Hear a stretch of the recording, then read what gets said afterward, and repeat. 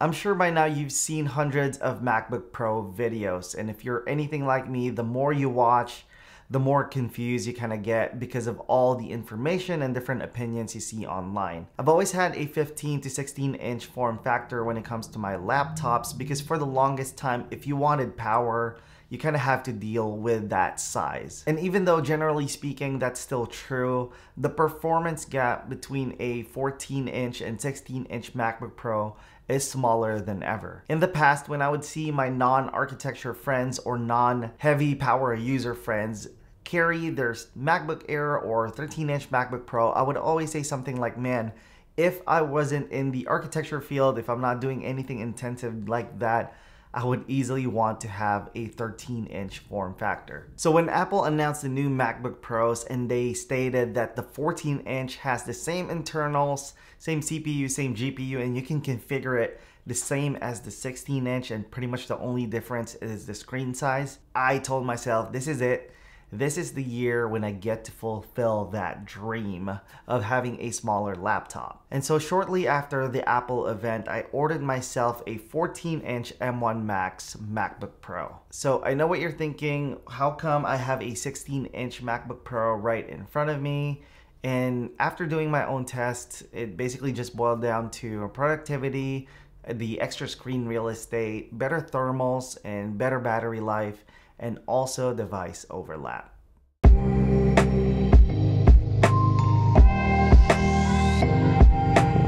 Hello everyone, welcome back to the channel. My name is Jon Imperial. Today I just wanted to share my reason for why I ended up with the 16 inch MacBook Pro despite really, really wanting to keep the 14 inch MacBook Pro. Long story short, I ordered the 14 inch shortly after the Apple event, and as days were going by, videos were coming out, and I started to watch them, and I second guessed my decision. And before I could even cancel my order for the 14 inch, it was already shipped and it was on its way to me. And so I kind of opened the 14 inch. It was hard not to just to compare it with the 16 inch and confirm some of the hunches that I had and also do my own testing. And to be honest, the 14 inch is super, super impressive as you have seen online, but there were just some things about the 16 inch that was hard to let go of. So let me share my reasons with you guys along with some tests that I did.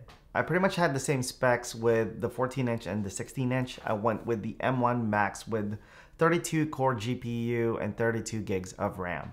So the first thing I wanted to figure out was portability versus productivity. I believe there's a fine line between the two and finding the sweet spot was the thing that I wanted to figure out. So there's no doubt that the 14 inch is a lot easier to carry, travel with because it's lighter and more portable.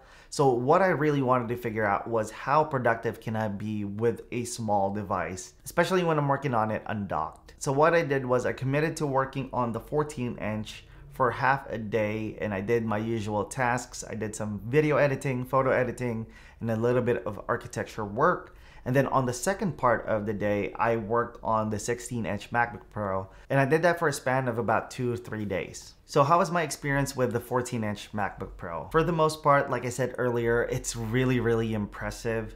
I didn't see any noticeable performance difference when I was switching from the 14 inch and the 16 inch, especially with like regular tasks like just drafting on my architecture programs, video editing, photo editing. None of that was actually slowing down the 14 inch. I was doing some tasks that I know my old 2019 16 inch MacBook Pro Intel would slow down, maybe stutter, but the 14 inch wasn't having that at all. And so that was very, very impressive. One of the main difference that I saw was when it comes to exporting a video and maybe rendering some 3D models, but we'll talk more about that later. If you're already used to having like a 13 inch screen, then going on the 14 inch wouldn't be a problem at all. But for me, when I switched over to the 16 inch, I immediately felt like less claustrophobic in a way because of the extra screen real estate. Not to state the obvious, but there's really just so much more space to work with, especially as an architect. I'm constantly referring to an image, a website, some specs and whatnot. And so I always try to work split screen. And so doing split screen on the 14 inch was a little bit tougher. Now, there's really no good way to measure productivity, but as soon as I switched to the 16 inch MacBook Pro, it just felt like home and I felt more productive working on the 16 inch. Moving over to portability, the 14 inch was just a joy to work on. Moving it over from the office to the couch, to the couch to the dining room to the kitchen, it's just a lot lighter to carry around. For me personally, I think the 16 inch MacBook Pro is not as heavy and cumbersome as other people are saying out there. Of course, if you compare it to the 14 inch. The 14 inch is better, but that does not take away from how portable the 16 inch MacBook Pro is. In fact, I was able to travel with my 16 inch MacBook Pro like two days after I got it, and I had no issues at all. It was comfortable putting it on my backpack. And for me in my use, the extra 1.2 pound of the 16 inch MacBook Pro is worth because of the bigger screen that I'm getting. I personally think that if you have your laptop docked 80 to 90% of the time, that's even more reason why you should get the 16 inch MacBook Pro because you're not carrying it all that much. But it's dependent on how and where and why you use it within those 10 to 20% that you don't have it docked. The second thing I wanted to check was performance versus battery life. So I did some basic tests because I wanted to see how both devices actually perform in the kind of work that I do. When it comes to video editing, like I said earlier, when you're just cutting clips, playback, basically video editing, I see no difference between the 14 inch and the 16 inch other than of course the extra space. But when it comes to exporting a video, then that's where I saw a little bit more of a difference. So what I did was I exported my home design office video, which was shot in 4K, 21 minutes long. It's a very typical video for me and here are the results that I got.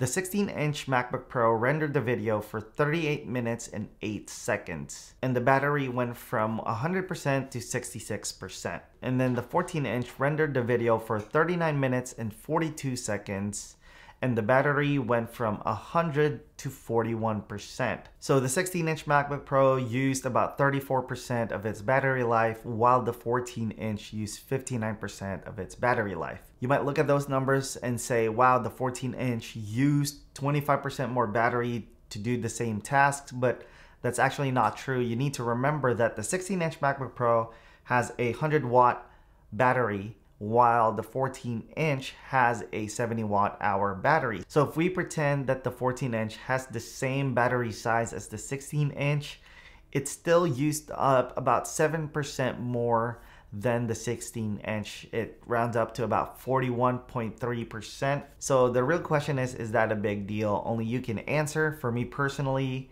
that's not a big difference. I actually thought it would be more, but yeah, that's not a big deal at all. I'm more concerned about performance. But what that tells me is that the 16 inch doesn't just have a bigger battery, it actually runs a little bit more efficiently. While rendering, I paid attention to the fans and for the 14 inch, it started to turn on at around a minute 30 and it didn't stop until the export ended. It stayed at around 4500 RPM for most of the renders and it would ramp up at certain parts for up to 5800 RPM. And on the 16 inch MacBook Pro, it wasn't running the whole time. It would turn on and off. And when it would turn on, it stayed at an average of 2200 to 2400 RPM, which actually is barely audible. If you have music playing, background noise and all of that, it kind of just blurs into the background and at some point of the render I had to take out the 14 inch away from the room so that I can properly hear the fans of the 16 inch. It's super impressive pretty quiet.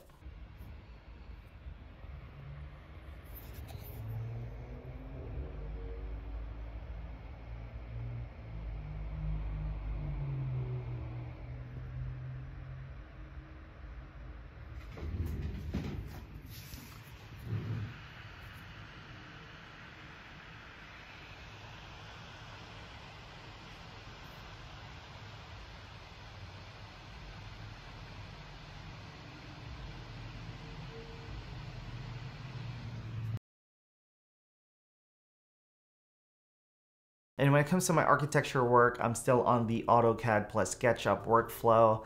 that works perfectly. But I've been thinking about transitioning to ArchiCAD for a while now. So I decided to download the free trial and do some tests over there. Since I have very little experience with ArchiCAD, I actually just downloaded a sample project. So I was moving around, pretending to draft and delete walls and pretend that I was drafting and also view pre-created like sheets, sections, like perspective and all of that. And it works perfectly. The performance on both the 14 inch and 16 inch was very, very similar. No fans were turning on when I was just modeling and all of that stuff.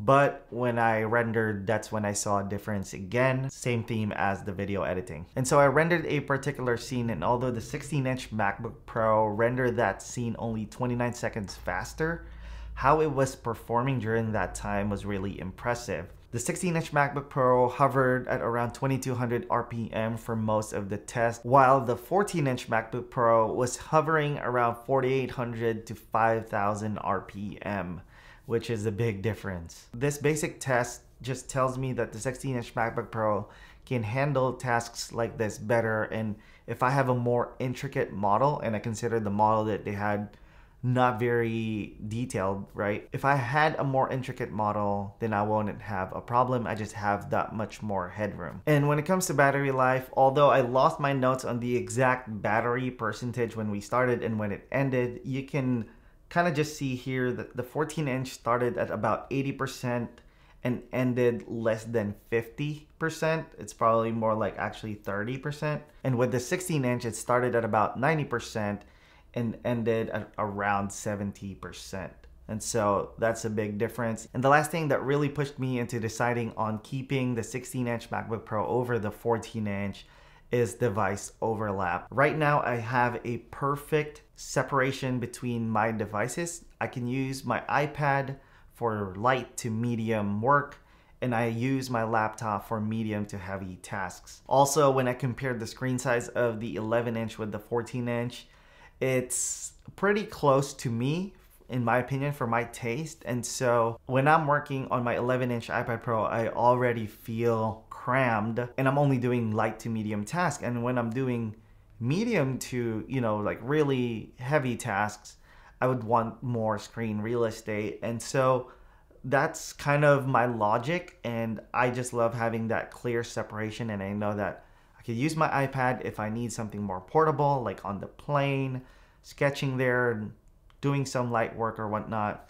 And I have my 16 inch MacBook Pro for heavy lifting. Anyway, let me know what you guys think. I hope I helped you in your decision making. If you're stuck between 14 inch and 16 inch, let me know which one you end up deciding. And if you want my final thoughts, 14 inch, if you really, really, really want portability, and for everything else, I vote 16 inch MacBook Pro. Anyway, I hope you guys enjoyed this video. If you did, please give it a thumbs up. If you loved it, subscribe to the channel. Thank you guys for watching and I'll see you in the next one. Bye.